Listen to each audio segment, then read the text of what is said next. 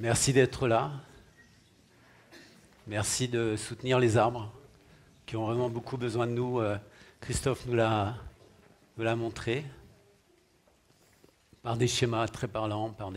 On a besoin de connaître, on a besoin de connaissances, on a vraiment besoin de cette euh, euh, objectivité aujourd'hui parce que effectivement on dit n'importe quoi au sujet des arbres et toutes ces grandes annonces de plantation, elles masquent un massacre généralisé qui n'est pas encore prêt de s'arrêter, j'ai peur.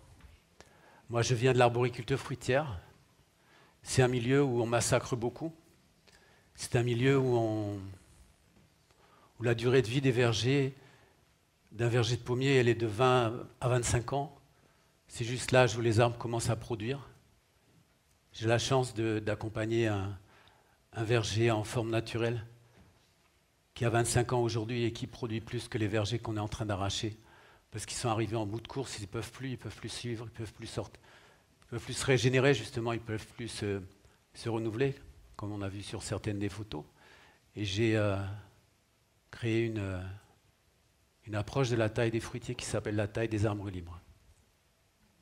Mais je ne suis pas venu vous parler de ça aujourd'hui.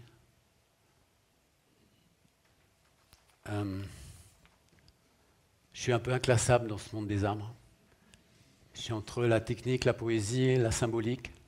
Je trouve que toutes les approches sont nécessaires, toutes les approches sont indispensables. La science m'intéresse beaucoup, mais aussi, euh, aussi l'approche sensible, la symbolique, tout ce qu'on peut dire. J'ai envie de rebondir sur ce qu'a dit Christophe tout à l'heure à propos de tous ces gens qui aiment les arbres. Peut-être qu'on en parlera, je ne sais pas très bien où, ça va me mener, mais euh, par exemple, les gens aiment les oliviers, vous avez remarqué. Ils les arrachent en Espagne, au Maroc, en Italie, partout. Des oliviers centenaires, des oliviers même millénaires, on est vachement fiers. À Nantes, il y a un olivier qui a 1500 ans, je crois. Il est au milieu d'un petit parterre avec des lavandes autour. Ça fait joli. Et euh, il a été arraché dans un village en Espagne. Et ça fait joli un olivier euh, au bord d'une piscine, taillé en nuages. C'est extraordinaire. C'est magnifique. Ces gens, ils aiment les arbres, ils aiment les oliviers. Donc c'est quoi aimer un arbre? Comment on les aime? Je vais essayer de vous emmener dans quelque chose de particulier qui est euh, la science. Elle nous permet d'une certaine manière de savoir ce qu'est un arbre. Mais euh, qui sont les arbres? Ces êtres étranges. Qu'est-ce que c'est comme expérience de vie que d'être un arbre? Est-ce qu'on peut se le représenter? Est-ce qu'on peut avoir une certaine euh, capacité de s'imaginer, se représenter ce que c'est de vivre 500 ans, 1000 ans, au même endroit, sans bouger, et d'être un arbre? Les arbres dansent.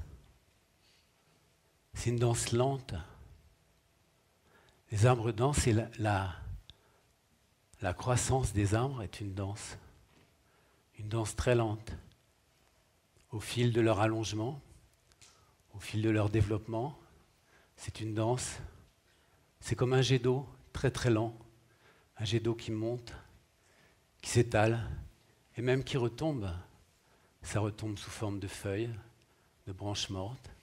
Le port de l'arbre s'élargit s'assouplit, redescend, et cette eau, elle monte de la terre, elle monte dans des canaux parfaitement adaptés pour la conduire sans le moindre heurt. Elle monte de la terre. Quelque chose monte de la terre, la terre pousse l'eau de cette manière-là dans la colonne de l'arbre. Les arbres dansent. Les arbres dansent aussi euh, avec le vent, pas dans le vent. Les arbres dansent avec le vent. C'est une drôle de façon de le regarder. C'est une des manières qu'on peut avoir de commencer à comprendre ce que fait un arbre. Parce qu'ils font. Quand il pousse, il fait quelque chose. Quand il réagit, il fait quelque chose. Ce n'est pas juste une mécanique. Ce n'est pas juste un machin qu'on étudie. Quand on tape là, ça fait ça. Quand on coupe là, ça fait ça. Bien sûr.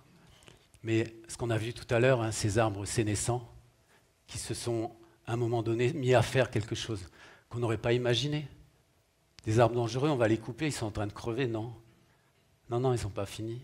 Ils vont continuer de faire ce qu'ils sont venus faire sur Terre, cette espèce de déploiement infini.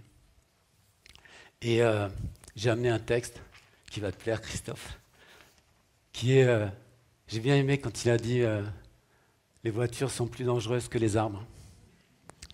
Alors c'est un texte d'un auteur polonais qui s'appelle Slavomir Mrozek. J'habite dans une maison située non loin de la route. En bordure de cette route, près d'un virage, pousse un arbre. Quand j'étais enfant, c'était encore une route champêtre, c'est-à-dire poussiéreuse en été, boueuse au printemps et en automne, recouverte de neige en hiver. Champêtre donc, comme les champs eux-mêmes. Maintenant, elle est asphaltée. Quelle que soit la saison, quand j'étais petit, sur cette route passaient des charrettes de paysans tirées par des bœufs, et seulement entre le lever et le coucher du soleil. Je les connaissais toutes. Elles étaient d'ici, les charrettes. Les charrettes tirées par des chevaux étaient plus rares. Maintenant, sur cette route, passent des voitures, jour et nuit. Je n'en connais aucune. Elles arrivent de quelque part, disparaissent autre part. Seul l'arbre est resté inchangé. Vert depuis le printemps jusqu'en automne, il pousse sur mon terrain. Un jour, j'ai reçu une lettre de l'administration. Cet arbre, disait la lettre, présente un danger pour les voitures, car il se trouve dans un virage et les véhicules peuvent s'écraser dessus. Il convient donc de le couper. Ça fait partie des raisons, des raisons idiotes, des raisons criminelles de couper les arbres. Ça existe encore des routes ombragées de platanes. Je me rappelle quand j'étais enfant, il y avait un grand alignement en sortant du village où j'habitais. Et puis un jour, il y a une voiture qui s'est écrasée dessus. Je crois que c'est arrivé à la Bastide de Sérou, entre autres. Et c'était le fils d'un élu en plus. Donc on a coupé tout l'alignement. Ce qui est juste est juste. L'arbre est effectivement dans un virage et il y a de plus en plus de voitures qui roulent de plus en plus vite sans faire attention. D'un instant à l'autre, l'une de ces voitures risquait de s'écraser contre l'arbre. Je pris donc mon fusil de chasse et je m'assis sous l'arbre et dès qu'apparut la première voiture, j'ouvris le feu. Mais je l'ai raté. Je fus incarcéré, passé en justice.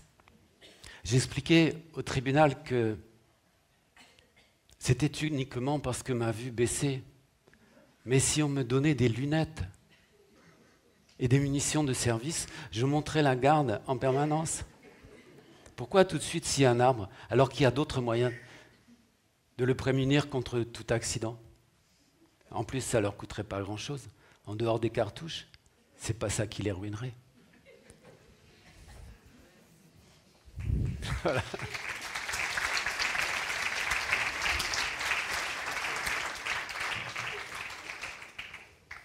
Alors, je vais vous raconter des histoires, je vais vous raconter des choses euh, qui touchent plus là aussi. On a besoin d'être touché à tous les niveaux. Euh, mais euh, il y a, une, question à laquelle j'avais envie de répondre. C'est dans un des livres de Francis Allais, c'est dans l'éloge de la plante, où il fait une constatation euh, apparemment, comment dire, futile, ou je sais pas, inutile ou bizarre. Il dit c'est bizarre, les plantes n'ont pas d'excréments. Pourquoi? Il donne une réponse un peu... il s'en fout. Hein. Il donne une réponse pas vraiment satisfaisante, je trouve. Il dit c'est parce qu'ils stockent tout euh, dans leur tronc, euh, donc ils n'ont pas d'excréments, ils gardent tout. Mais non, je crois pas. Les arbres ne font pas caca, non, c'est vrai. c'est heureux, hein, parce que les forêts, ce serait pas si agréable que ça, finalement. Mélanger aux feuilles mortes. Donc non, il n'y a pas ça, c'est pas comme ça. J'ai beaucoup réfléchi à cette question. Ça m'a trotté pendant, pendant des années, vraiment. Hein.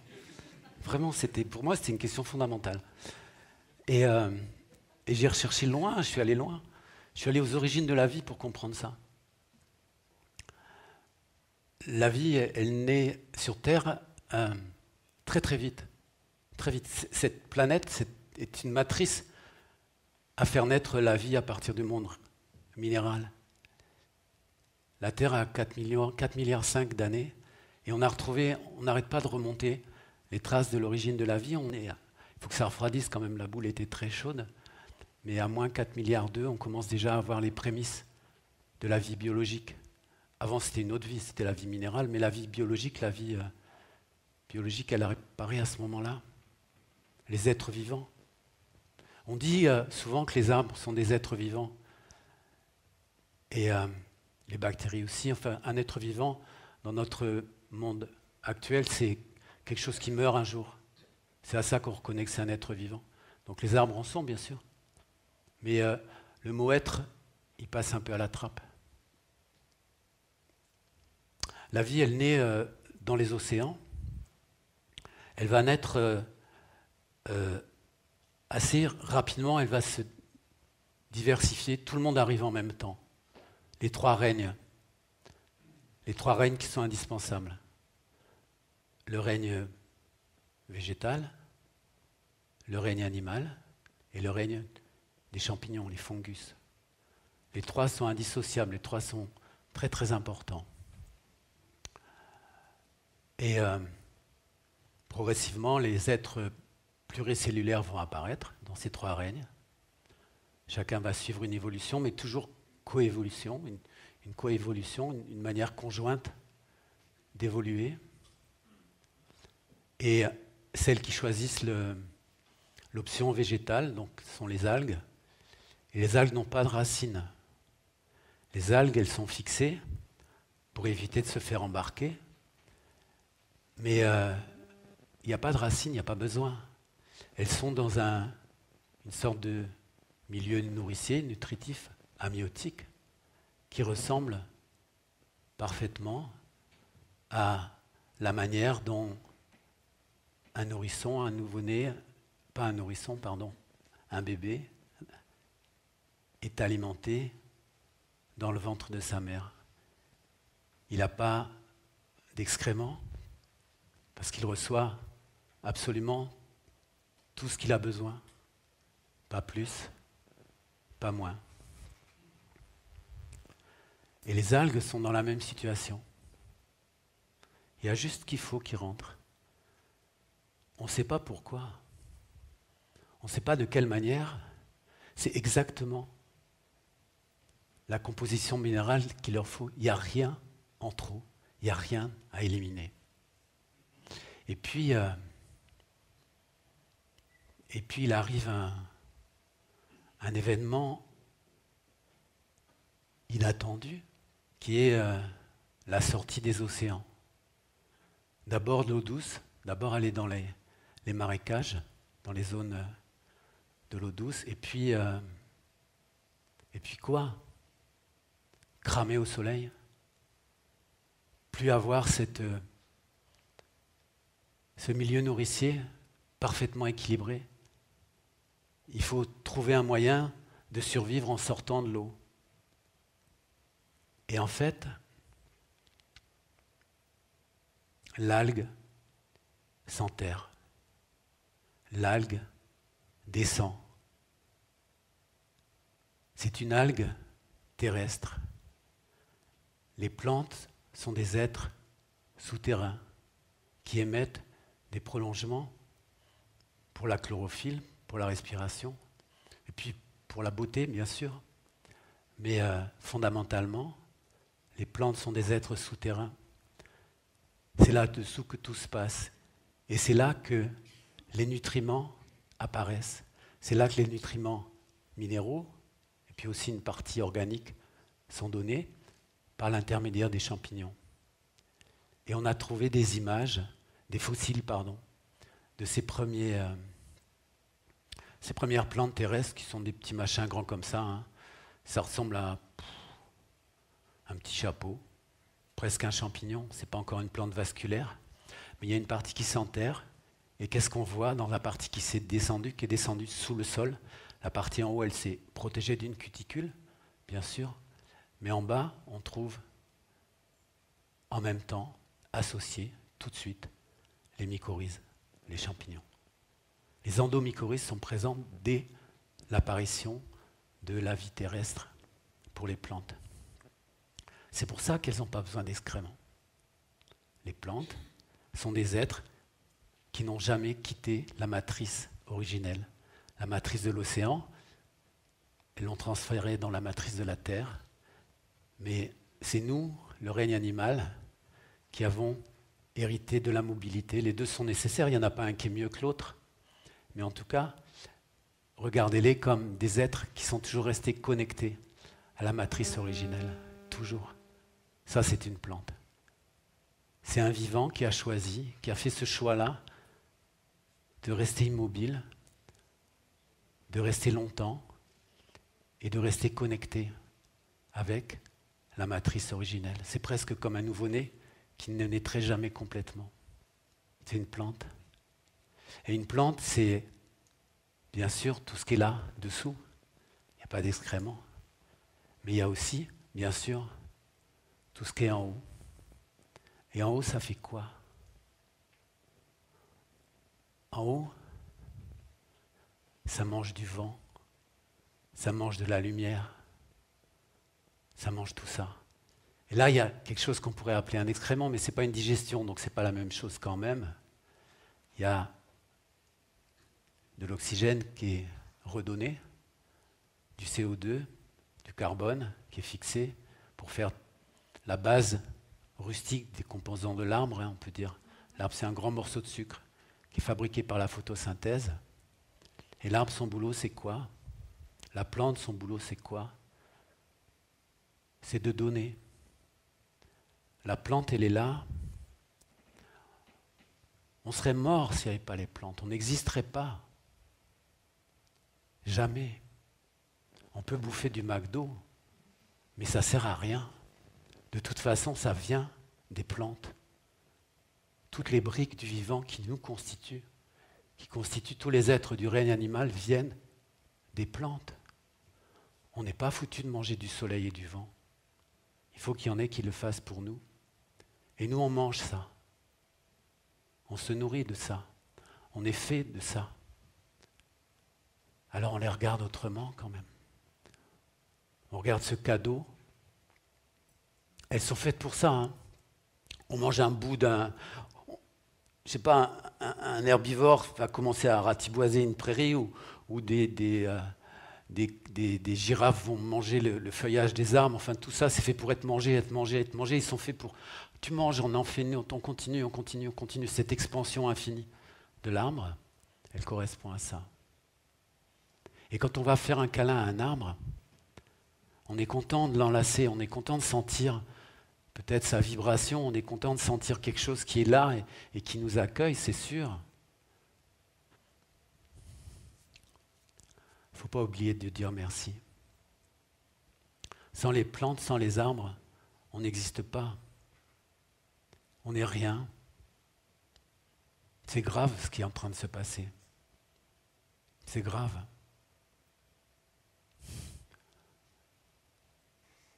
C'est terrible de voir comment on, traite ce qui en fait, ceux qui sont un peu notre, notre mère, hein, ceux qui nous nourrissent, le règne végétal.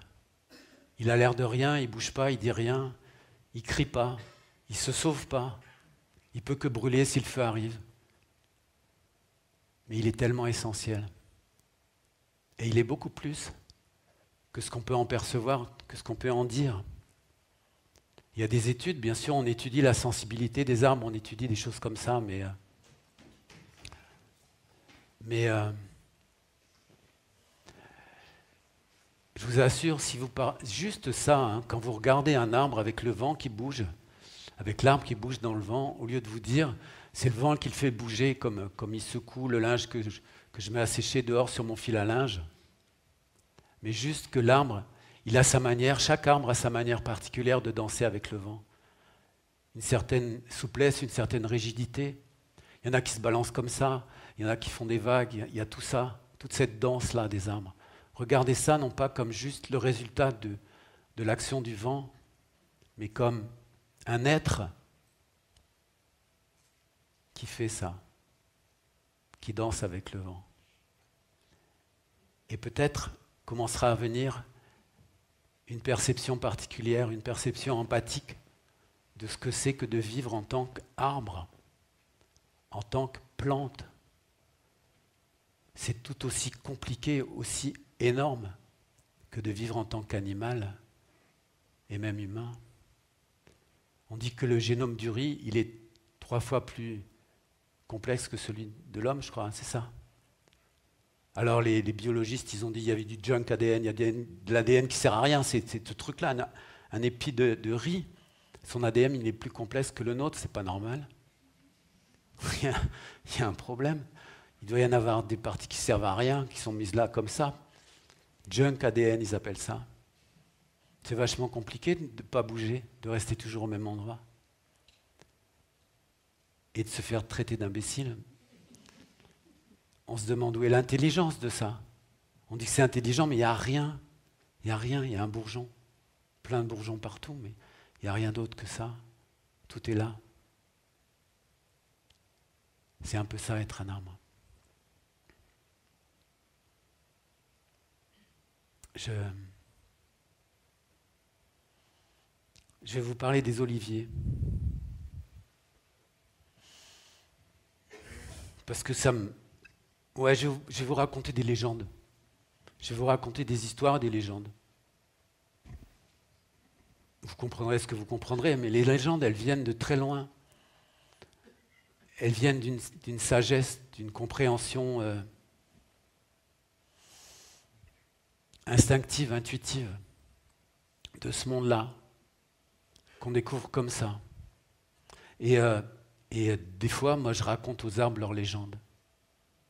Ils ont besoin de savoir que tout le monde n'a pas oublié, que ce n'est pas juste des trucs pour mettre dans les livres pour enfants. Et donc, c'est l'histoire de l'olivier. C'est, une légende grecque, c'est un mythe de la Grèce antique. Et euh, il y a une ville qui vient d'être euh, bâtie qui s'appelle Athènes. Ville magnifique, n'est-ce pas? Et euh, avec des habitants qui sont presque l'élite du monde grec, qui inventent la démocratie. Et qui doivent, comme toute ville se doit, les habitants d'Athènes doivent avoir un temple dédié à une déesse. Ils ont construit un temple sur l'acropole, il n'y a personne dedans. Et euh, il faut absolument qu'il y ait une divinité pour protéger la ville et puis aussi pour la vénérer. Ça fait du bien. Et donc, euh, comme c'est une démocratie, ils vont faire un appel d'offres. C'est comme ça que ça marche en démocratie. On fait un appel d'offres, le mieux disant. Et ils envoient des, invitations dans l'Olympe pour inviter les divinités à venir s'installer à Athènes. Et il euh, n'y a pas grand monde qui répond. Ils sont tous occupés, ils sont déjà tous euh, des villes qui leur sont dédiées, mais il y en a deux qui vont répondre. Et les deux qui répondent, c'est Poséidon et Athéna. Poséidon, le frère de Zeus, le dieu de la mer, le dieu puissant. Il a aussi le cheval dans ses, dans ses emblèmes. les, les hommes craignent Poséidon, mais en même temps, avoir Poséidon avec soi, c'est pouvoir traverser les océans sans autant de risques de naufrage, parce que ses colères sont terribles. Et puis Athéna, on ne sait pas très bien, c'est une femme d'abord. Non, mais c'est vrai. Pour les Grecs, pourtant, à Athènes, les femmes avaient le droit de vote. Hein. Dans la démocratie athénienne, c'était déjà. Enfin, au début. Au début, elles l'ont eu. Parce que Athéna, c'est la fille de Zeus. C'est une fille de, c'est la fille de son esprit. Zeus, c'est le dieu fécondant, c'est le dieu impulsant, c'est, le dieu impulsif, c'est le dieu qui, qui, va faire des enfants partout. Et euh, il fait des enfants avec une femme qui s'appelle Métis, ou peut-être une déesse, je ne me souviens plus bien. Elle s'appelle Métis. Et Métis, ça veut dire le discernement. Parce que le discernement, les dieux grecs, c'est pas leur truc. Ils foncent droit. Le dieu de la guerre, il sait faire la guerre. Le dieu de l'amour, il sait faire l'amour. Le dieu de. Voilà, ils savent un truc. Et du coup, le discernement, c'est pas tout à fait leur, euh, leur point fort. Et ils rencontrent cette, euh, cette déesse et elle, va, elle attend un enfant. Et on lui annonce que l'enfant qui allait naître de cette union le surpasserait.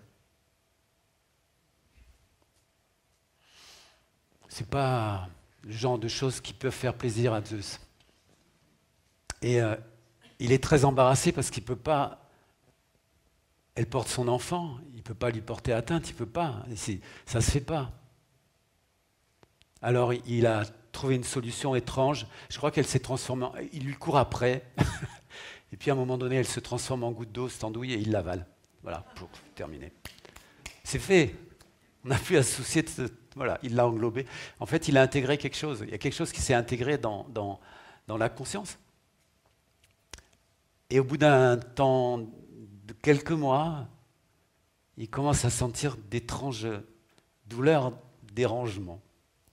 Il n'a pas l'habitude, il n'est pas du tout équipé. Il ne sait pas comment se débarrasser de ce truc-là qui commence à prendre beaucoup de place à l'intérieur. Et euh, il va voir Héphaïstos. Héphaïstos, c'est son frère, c'est le, dieu boiteux, le forgeron. Et en même temps, euh, il dit écoute, je vais t'aider, mets-toi là, bouge pas. Je vais, on va faire quelque chose, je vais, je vais te délivrer. Il prend, selon les versions, une, grande épée ou une hache et il s'approche de son frère et il lui tranche le crâne. Clac, ouvert. Et Athéna sort du crâne de Zeus avec sa lance, son casque, la chouette de la sagesse sur son épaule. C'est elle qui vient, qui répond à l'appel d'offres des Athéniens. Et, euh, et, elle et Poséidon, ils ne s'aiment pas bien. Ils sont très souvent... Euh, elle, c'est la sagesse, c'est le discernement, c'est euh, une déesse de maturité, et lui, c'est un, un dieu emporté son emportement le fait craindre. Alors on fait visiter aux dieux la ville, l'Athéna, on leur présente les, les, habitants, les citoyens, puis on leur dit maintenant, à vous. Poséidon commence. Avec son trident, il plante son trident au pied de l'acropole, il fait jaillir une source d'eau claire. Si vous êtes allé à Athènes aujourd'hui encore, dans les hôtels, il y a un petit, truc comme ça qui vous dit euh, attention, l'eau est rare, laissez pas couler les robinets. J'imagine qu'à l'époque, c'était déjà un énorme cadeau que de donner à une ville une source d'eau claire. Et ça signifie aussi euh, le Dieu de la mer salée, le Dieu de l'eau amère. Avec vous, je serai doux, je serai l'eau douce. Ça, c'est le message symbolique. Et Athéna, elle prend un petit truc comme ça et elle fait le coup de, d'Astérix dans l'image qu'on a vue. Tac. Et de cette minuscule graine jaillit un olivier. Elle leur offre un olivier. Elle leur offre un arbre. Elle leur offre euh, presque le contraire de ce que Poséidon leur a offert. Vous avez déjà mangé une olive Dans le genre amertume, c'est pas mal quand même. Il y en a un qui arrive en disant Moi je vais tout doux avec vous, et l'autre qui arrive avec euh, un arbre qui est porteur de fruits amers. Mais euh, il semblerait que les hommes avaient une très nette préférence pour Poséidon, c'est eux qui prennent la mer. Mais les femmes ont fait pencher la balance en faveur d'Athéna. C'est elle qui est devenue la déesse tutélaire de la, vigne, de la, de la ville. Est-ce que vous avez une idée du message, de la signification, du rôle de l'olivier, de pourquoi on lui a attribué cette légende, pourquoi on en parle de lui de cette manière, pourquoi on parle de lui comme ça, et pas d'un arbre d'ornement à mettre au bord des piscines Qu'est-ce que ça signifie? C'est quelque chose de très profond sur le plan humain. Parce qu'avec cette amertume, on fait la lumière, on fait de l'huile pour les lampes. Avec cette amertume, on fait de l'huile pour les massages, pour le corps. On fait de la douceur. Avec cette amertume, on fait aussi une huile pour l'alimentation, pour la nourriture. Et en fait, ce que l'olivier nous rappelle, ce que vient rappeler l'olivier, c'est transformer l'amertume en douceur par le travail des humains. C'est ça un olivier. C'est ça qui vient nous dire l'olivier. Et c'est ça la merveille de la rencontre entre les arbres et les humains, la relation entre les humains et les hommes. Comment on honore cette relation, comment on honore ce pacte, comment on fait avec ça, comment on honore cet arbre, comme l'honoraient les Grecs, qu'il avait attribué à une déesse, la déesse de la sagesse, l'olivier de la paix. En Palestine, on dit euh, l'olivier, c'est l'arbre de la fierté. Parce que celui qui a un olivier n'a pas à demander. Et on arrache des milliers d'oliviers en Palestine aujourd'hui pour la guerre.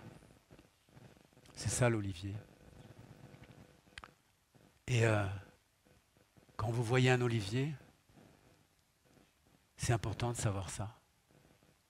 Pour lui et pour nous. Je ne sais pas où j'en suis, moi, je n'ai pas minuté. Encore un petit peu suis un peu long. Une dernière Cinq minutes D'accord. Ok. Ah ouais. D'accord. Six. non, une dernière, mais, une dernière importante. On est dans la relation avec l'arbre. On a bien vu à quel point c'était stupide tout ce qu'on fait aujourd'hui aux arbres. On a bien vu à quel point les lagages, on a bien, vu à quel point les abattages, on a bien vu à quel point la méconnaissance était absolument épouvantable. Et on se donne bonne conscience en plantant des dizaines, des centaines de milliers d'arbres, ça ne changera jamais, ça ne fera jamais une forêt. Je suis allé dans les Landes il n'y a pas longtemps et j'ai vu des milliers d'arbres qui ne feront jamais une forêt. J'étais triste, c'était terrible. Ces alignements-là, ça ne fera jamais une forêt, ils n'auront jamais le temps. Même si on les coupe à 40 ans, 50 ans, 60 ans, ça ne fera jamais une forêt. Je vais vous raconter encore une histoire. C'est une histoire que j'ai inventée. Parce que moi, je vous ai dit que je venais de l'arboriculture fruitière. Alors ça parle encore une fois des origines. C'est bizarre. Euh, c'est quand le bon Dieu a créé les arbres. Là, on est, on est dans la plus pure mythologie. Quand le bon Dieu a créé les arbres, ça lui a pris beaucoup de temps. C'était pas facile. Parce qu'il partait de quelque chose, d'un matériau un peu informe, un peu, euh, diffus, des algues, tout ça. Donc je vous ai raconté comment les algues sont sorties de terre, comment ça, fait évoluer le règne végétal vers la conquête de la terre ferme. Mais euh, là, ça a pris du temps, oui. Mais euh, ça a fini par marcher. Et, tous les arbres ont commencé à se répandre sur la terre. Il y avait, une, diversité extraordinaire. Il y avait des grands, des petits, il y avait des sols arctiques qui mesurent jamais plus de 15 cm. Il y avait des séquoias qui montrent à plus de 100 mètres. Il y avait il y avait des feuillus, des persistants, il y avait des conifères, il y avait tous ces arbres, et chacun avec son caractère, ses caractéristiques particulières, chacun avec son talent particulier, les baobabs qui stockent de l'eau dans leur tronc. Euh, ouais, bon voilà, tous ces arbres, les arbres fruitiers aussi. Les arbres fruitiers, pardon. Les arbres fruitiers, oui. Alors les arbres fruitiers. Les arbres fruitiers, c'est spécial. Ou du moins ceux qui allaient devenir les arbres fruitiers, c'est ça qui est, c'est ça le truc ce qui allait devenir les arbres fruitiers. Dieu ne les a pas créés arbres fruitiers. Il leur a donné des fleurs magnifiques, il leur a donné même le privilège pour certains de fleurir avant qu'on voit les feuilles. C'est juste un grand bouquet de fleurs, un pommier, un cerisier en fleurs. C'est juste un grand bouquet qui est là offert aux abeilles avec son parfum. Et puis, euh, tous les arbres étaient dans une énorme gratitude de ce qu'ils avaient reçu, de comment ils avaient été euh, chacun particulier. Chacun avait été, euh, avait été comment dire, honoré de qualités particulières. Sauf, très très bizarrement, ceux qui allaient devenir nos arbres fruitiers. C'est bizarre. C'était pas net, c'était pas clair, mais ils étaient un peu, un peu chonchon, un peu, ça va pas. Un peu, ils se sentaient un peu bizarres et ils, ont, ils, en ont parlé les uns aux autres, les, les, les, pruneliers, les, les, les, merisiers sauvages, les petits poiriers. Un poirier sauvage, c'est terrible, hein, ça des épines comme ça, c'est plus, plus féroce qu'un acacia, c'est tout noir, ça a des fruits durs comme des cailloux. Et ils en ont parlé les uns aux autres. Ils ont dit non, mais toi, moi, ça va pas non plus. Je sais pas ce qui se passe, mais ça va, ça va, mais ça va pas euh, vraiment comme ça pourrait aller. Euh, ils ont décidé d'aller en parler au patron. Ils ont fait une délégation, ils sont allés voir euh, le patron, ils ont dit voilà, c'était gêné un petit peu quand même, c'est gênant. Tu demandes une audience, grand patron. Et puis surtout pour, pour ça, ils étaient un peu gênés. Ils ont dit mais on n'est pas venu pour se plaindre. On sait bien qu'on a été gâté comme tout le monde, mais, mais ça va pas. ça va pas du tout. Il leur a dit, je vous attendais, c'est bien. C'est bien que vous soyez venus, c'est bien que vous soyez là. Je vous attendais, vous avez bien fait de venir. Je vais vous expliquer. En fait, ce que vous ressentez là, c'est normal. C'est tout à fait normal. Ça vous honore de ressentir ce, ce malaise-là. Figurez-vous, que dans chacun d'entre vous, j'ai caché un trésor. Ce trésor, il est là à l'intérieur. Ce trésor, il voudrait se manifester, il voudrait se révéler, mais il est encore caché. C'est ça qui vous fait souffrir. C'est le trésor caché, c'est juste qu'il veut sortir, il veut, il veut qu'on le voit, il veut se donner. Ça va venir, mais ça va prendre du temps. Ça va être long. Je n'ai pas pu faire autrement, parce que vous n'allez pas pouvoir le faire tout seul j'ai un projet compliqué, assez compliqué. Une nouvelle espèce. C'est euh, grand comme ça, ça marche sur deux pattes, ça court partout, c'est très curieux, ça fait du bruit avec la bouche. Vous allez les rencontrer, enfin c'est eux qui vont venir à votre rencontre. Et, euh, et vous allez voir, il va se passer des choses dans cette rencontre. Il va se passer des choses, et dans cette rencontre, par cette rencontre, grâce à cette rencontre, le trésor que vous pouvez, que vous portez à l'intérieur, il va se révéler. Mais là, il y en a pour quelques millions d'années, et je dirais même ouais, dizaines de millions d'années, pour certains plus. Il faudra être patient, vous avez été déjà très patient et il faudra attendre. Je ne peux pas faire plus vite, c'est compliqué. Alors les arbres sont repartis, ils ont remercié, et effectivement, quand ça ne va pas, mais qu'on sait pourquoi ça ne va pas, ça, c'est pas pareil ça va moins pas, puis surtout qu'il y avait quand même une, promesse, hein. il, y avait, il y avait un espoir, il y avait une espérance, il y avait quelque chose qui, était, qui allait venir, qui allait être vraiment merveilleux. Et euh, ils ont attendu, attendu, et, ils sont venus, les humains, ils sont arrivés. Vous aviez compris, bien sûr. C'est eux qui sont arrivés. C'est eux qui sont arrivés, ils ont rencontré les arbres, ils ont vu les arbres, ils ont mangé un peu les petits fruits euh, un peu amers et tout ça, mais ils ont commencé avec ça. Hein la vigne sauvage, les, les, olivastres, en fait, tout ça, ils ont fait. Et il y a eu, euh, bah, cette merveille de, de l'intelligence, l'imagination, la créativité de l'humanité, par laquelle ce trésor qui était porté à l'intérieur, tous ces arbres, toutes ces espèces-là, qui n'avaient jamais vu ça, qui n'avaient jamais fait ça, d'un seul coup, avec cette rencontre, par cette rencontre, parce qu'il y a cette intelligence qui rencontre ce potentiel-là. Et il y a quelque chose qui se passe entre les deux, il y a quelque chose qui est du donnant-donnant, il y a quelque chose qui est du prendre soin d'eux. Alors ce trésor va se révéler. Alors les poiriers, ils perdent leurs épines. Ils viennent d'où? Les fleurs de poirier, comment c'est beau. Hein et, euh, et, les fruits et les poires qui dégoulinent de jus. Mais c'était incroyable. Les pêchers, c'est pareil. Hein une petite pêche, euh, les pêches de vigne, c'est déjà c'est des merveilles à côté de ce que c'est qu'une pêche au départ. Et tout ça, c'est cette rencontre qui a fait ça. C'est par cette rencontre. Et c'est pas fini. Et aujourd'hui, les arbres se disent que, d'accord, le trésor, mais là, ça valait pas le coup. Franchement, ça valait pas le coup. Ils sont, très déçus d'être euh, se retrouver comme, comme s'ils avaient fait un marché de dupes, comme si on les avait entraînés dans, dans un truc qui n'était pas clair, qui n'était pas digne, qui n'était pas bien. ils sont devenus des objets, ils sont devenus des machines, ils sont devenus des... ils sont enfermés. C'est la même chose, un verger, c'est comme une étable industrielle, hein. c'est la même chose, c'est pareil. Ça marche pareil. En bio aussi d'ailleurs, ça existe en bio. Mais c'est bio. Enfin bref, voilà. Et pour terminer, ce que j'ai à vous dire aujourd'hui, ce que j'ai à vous dire ce soir, c'est que à chaque fois que des humains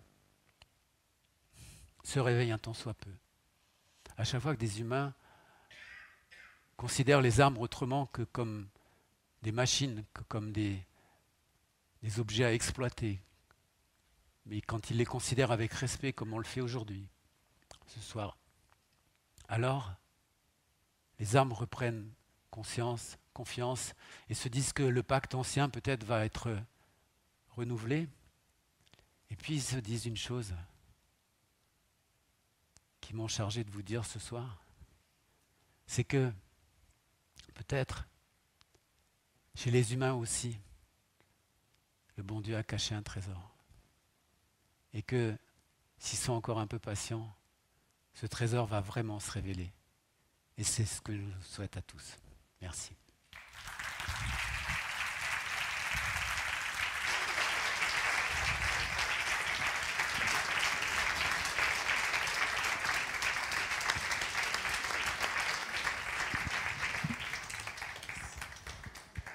Merci beaucoup. On a très peu de temps pour les questions. Est-ce qu'il y a une ou deux questions, pas plus, avant de passer à la parole à Thomas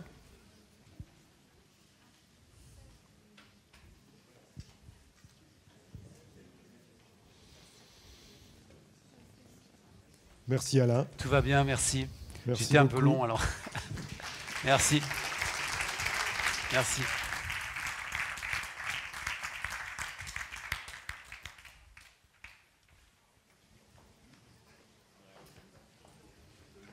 Autre style, autre contexte, Thomas Braille.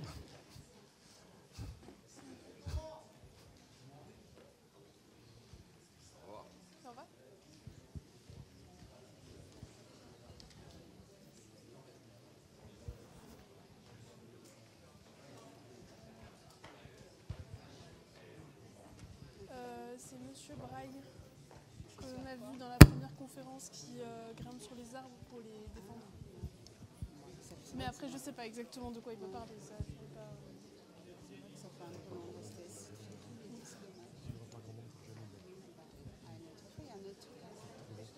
Euh, je sais pas, je pense pas. Non.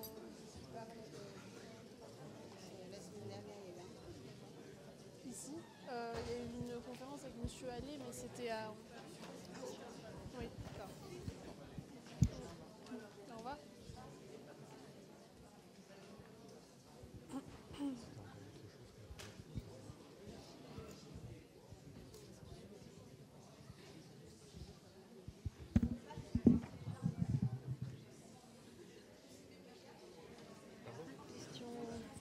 Petites questions.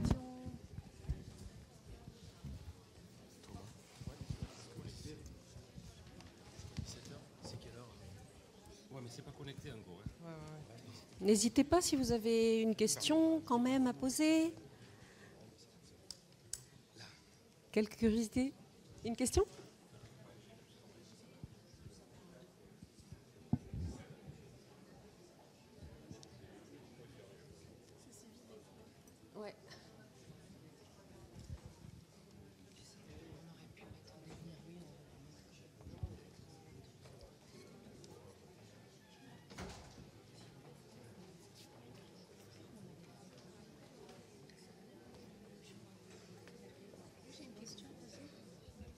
J'ai une Oui, question à poser question. Oui, oui.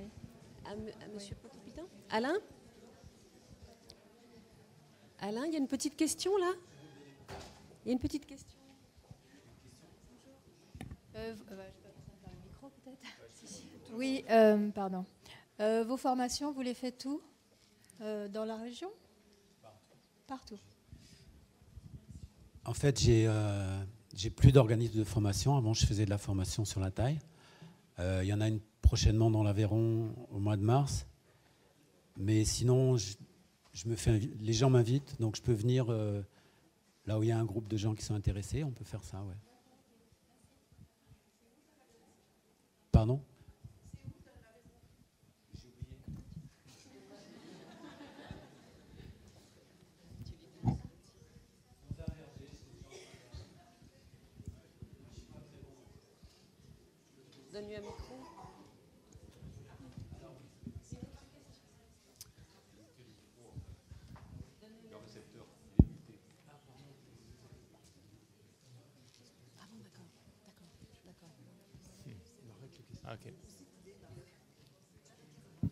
C'est 1, 2.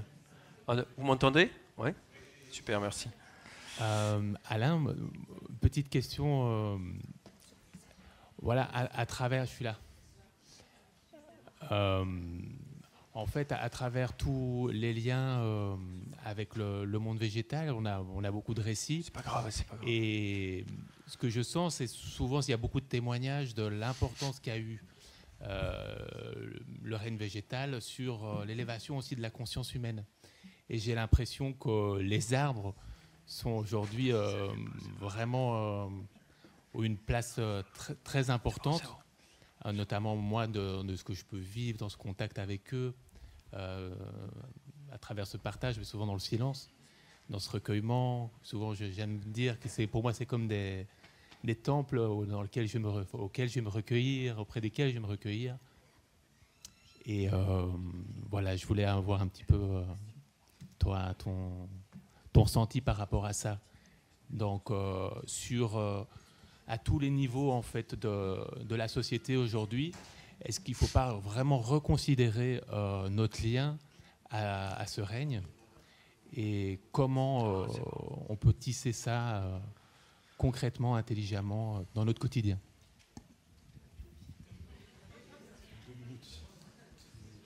Je crois qu'il y a- il y a une conférence qui va commencer. Euh, mais mais euh, ce que, comment dire, Euh, ce, que, ce que veut dire le dernier conte que je vous ai raconté, le dernier que je vous ai raconté, c'est que ce n'est pas une relation à sens unique ni dans un sens ni dans l'autre.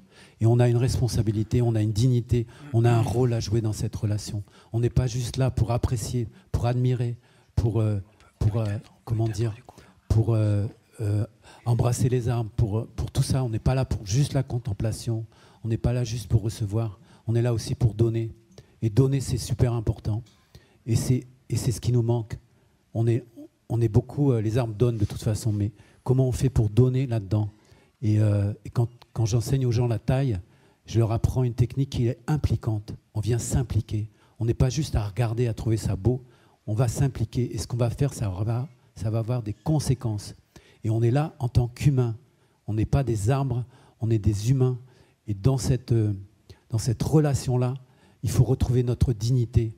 On l'a perdue. Voilà ce que je voudrais dire. Merci.